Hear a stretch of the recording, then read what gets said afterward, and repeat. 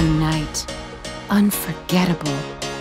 Your charm magnetic. Your confidence intoxicating. Your choice, your power, your freedom. Vote the fragrance of freedom. It feels incredible. And now for men. We do it together. Vote on or before November 5th, only while democracy lasts.